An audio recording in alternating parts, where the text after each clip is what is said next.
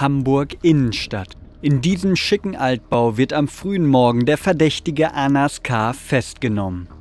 Seit 19 Monaten soll er hier in einem möblierten Zimmer gewohnt haben.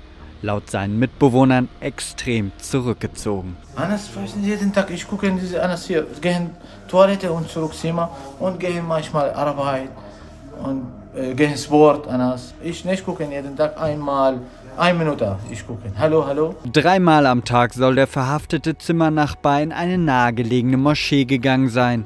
Besuch hatte er selten. Freunde Anas? Nein, ein, zwei. Ein, ich gucke, ein, zwei kommen Samstag, Freitag, sitzen zwei, drei Stunden und gehen. Sind nicht viel Besuch, nein.